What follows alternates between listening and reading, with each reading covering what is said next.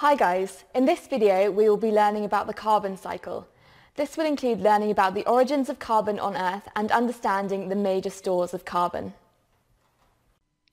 So to give a brief introduction to the carbon cycle, the carbon cycle is the cycling of carbon between its different stores and this can be seen in this diagram here. So the stores include the ocean, the land, beneath the land, which is called the lithosphere, and I'm going to come on to this, and also the atmosphere. And there are a variety of processes that transfer carbon as an element between these different stores.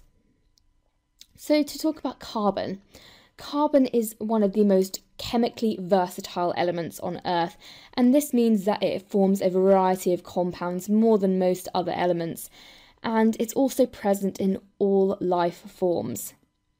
And as I just said, it's cycled through the Earth through the carbon cycle. Carbon can also be found in two different forms, being organic and inorganic carbon. So, organic carbon is the type of carbon we find in biomass. So, this means the type of carbon in plants and animals. And inorganic carbon is carbon found in fossil fuels such as oil and coal. So, there are a variety of very important carbon compounds that we need to know about. The main one being carbon dioxide, which is a gas and is also a greenhouse gas. And we're going to look at the greenhouse gas in greater detail in another video, but this is essentially important for keeping the earth warm. We also have methane, which is another greenhouse gas, also known as CH4. We have calcium carbonate, which is also known as limestone we have our hydrocarbons, and these are our fossil fuels, such as oil and gas and coal. And we also have carbon in biomolecules, such as things like proteins and DNA, and DNA is what makes us who we are. So, where does this carbon come from? We're now going to look at the origins of carbon on Earth. And these are formed from four different places. This is where they originate from. The first one being the Earth's interior, and the Earth, as you may know, has a series of layers. We have a core, a mantle, and a crust. And a lot of carbon originates in the mantle, which is this part here. This is the Earth's crust, and below it we have this semi molten layer called the mantle. We don't need to know about this, but just know that a lot of carbon comes from the Earth's interior. This carbon is then transferred into the crust or into the atmosphere at plate boundaries. And this is an example of a plate boundary here moving apart, and the carbon that's stored within the crust moves up on top of the crust um, through things like volcanic eruptions. Then we also have major stores of carbon, such as biomass, which is plants and animals, also, the oceans are stores of carbon as carbon dioxide is dissolved in the oceans. And also, we have processes of carbon removal, and this is when carbon is being removed, say, from the atmosphere by trees or plants doing photosynthesis but also carbon can be removed from the atmosphere, from the oceans, when it's locked up in sedimentary rocks. And we're going to look at some of these processes in greater detail, but it's just important to know that carbon originated from the Earth's interior. And that's the way the carbon cycle works, is that with the carbon starting in the Earth's interior, it's eventually cycled back into the Earth's interior from reaching the atmosphere and the oceans and being circled back. So now we're going to look at some of the major stores of carbon on Earth, and these are divided into four different categories, which are summarised in this diagram here. And these categories include the hydrosphere, which is water or the oceans. We have the lithosphere, which is essentially in rock and the upper layers of the Earth's crust. We have our biosphere, which is the living part of the carbon cycle. So this includes the soil, plants, and animals. And then we have lastly our atmosphere, which is where we have carbon in its gaseous form, as most likely carbon dioxide or methane. So we're going to look at these four stores in more detail, starting with the lithosphere. And the lithosphere, as I showed you in this diagram, is the parts of the crust and the upper mantle. And this is where we find carbon in its inorganic form, in fossil fuels and in limestone. And we can also find it in lower quantities in its organic form in humic substance, which is simply decaying material.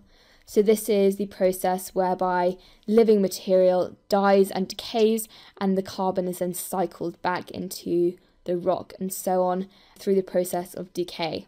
And within the lithosphere, we have carbon stored in different places. So, we have carbon stored in fossil fuels, as mentioned before, so that's things like coal, oil, and gas. In the soil, also in peat, this is another word for decaying material, and also in marine sediments and so on, such as sedimentary rocks found at the bottom of the ocean. Then we have the hydrosphere, and the hydrosphere is mainly the oceans. And as I mentioned before, CO2, carbon dioxide, is dissolved into the ocean water. And we also find carbon in the oceans locked up within organisms. So there's carbon dioxide and carbon as an element um, within fish and other organisms such as plankton, as well as um, some oceanic plants that live in the upper regions of the ocean. And carbon is stored within the water of the oceans in three different levels. So we have the surface level, and this is where we're going to find most of our plants because plants need to do photosynthesis to survive, so they need sunlight, so they're found on the surface layer.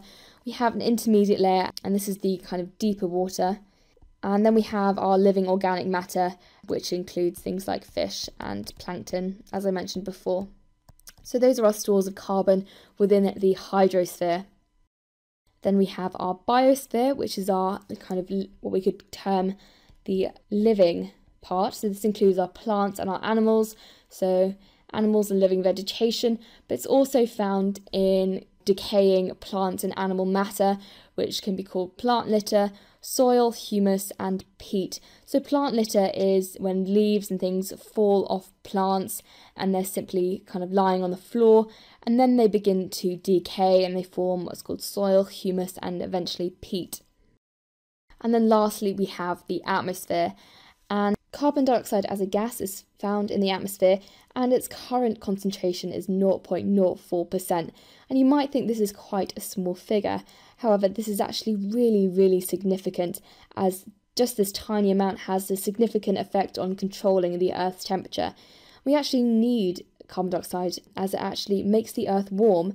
However, too much of it, and if this concentration increases, will cause increased warming to levels that we don't need. So it's important to keep our carbon dioxide levels constant. And without any carbon dioxide, the Earth would be much colder than it actually is right now. So, through the last 50 years or so, the atmospheric concentration of carbon dioxide has actually been increasing, and this is called the greenhouse effect, and this what's causing the greenhouse effect. And this has been measured on the Mauna Loa curve, which was a graph produced in an observatory in Hawaii that's been measuring carbon dioxide concentration over the last half century. And the graph looks a little bit like this, and this line represents the increasing concentration of carbon dioxide over time. And this has been happening since the Industrial Revolution, and this is where we've had increased use of things like fossil fuels and increased urbanization, so we have higher carbon dioxide emissions and this has been caused mainly by human activities which have been releasing greenhouse gases such as carbon dioxide into the atmosphere and is causing global warming due to an increased amount of CO2 in the atmosphere. We're going to learn about how CO2 acts as a greenhouse gas and causes this warming in another video. So, to summarise this section, we have stores of carbon in four places on Earth in the hydrosphere, the lithosphere, the biosphere, and the atmosphere. And the carbon cycle is the movement of carbon between these four major stores. Hi guys, I hope you enjoyed the video. If you're looking for an amazing A-level geography resource, Join me today in my series of engaging bite-sized video tutorials. See you soon and together let's make A-Level Geography a walk in the park.